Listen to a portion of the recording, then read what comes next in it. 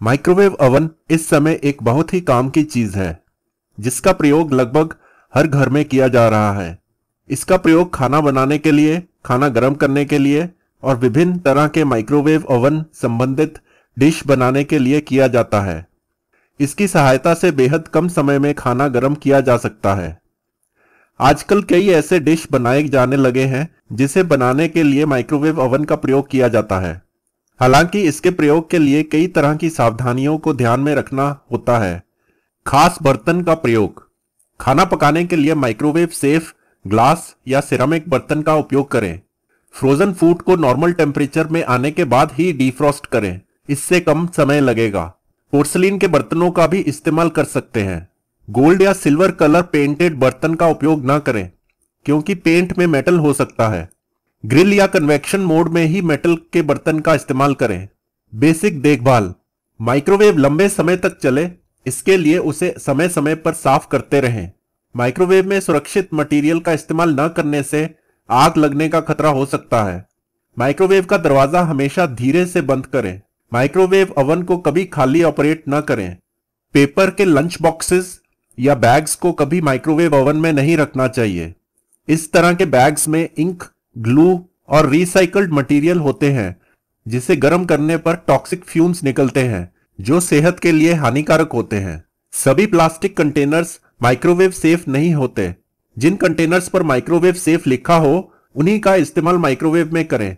Microwave oven में aluminium foil के अंदर खाना कवर करके रखने से फॉइल जल जाती है। इससे ओवन खराब भी हो सकता है। एल्यूमिनियम फॉइल में रखकर जब किसी चीज़ को पकाया जाता है तो उस खाने में भी एल्यूमिनियम की मात्रा मिल जाती है। ये बॉडी में लगातार जमा होकर टॉक्सिन्स के तौर पर काम करता है, जिससे हेल्थ पर बुरा असर पड़ता है। अंडों को माइक्रोवेव में रखने की गलती ना करें।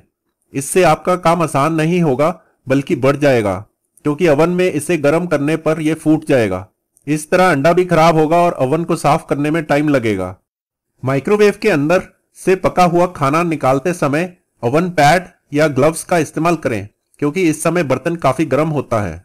ओवन के अंदर खाना पकाते समय यदि आपको बर्तन ढक के रखना पड़े तो कम से कम इतना स्थान अवश्य छोड़ दें कि खाने से स्टीम निकल सके।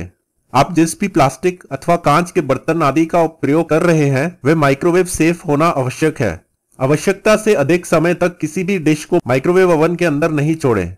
इन सब बातों को ध्यान में रखते हुए माइक्रोवेव ओवन का प्रयोग करते हुए खाना बनाने की प्रक्रिया को आसान बनाया जा सकता है।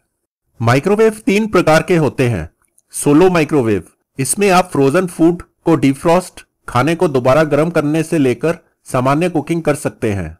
ग्रिल माइक्रोवेव इसमें ग्रिलिंग के लिए अलग से एक्सेसरीज होती हैं।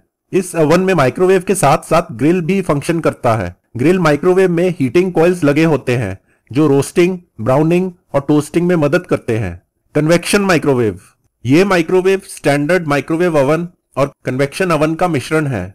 इसमें अंदर के तापमान को मेंटेन रखने के लिए पंखा लगा होता है। ये गर्म हवाओं का समान रूप से प्रसार करता है, ताकि खाना ठीक से पक सके।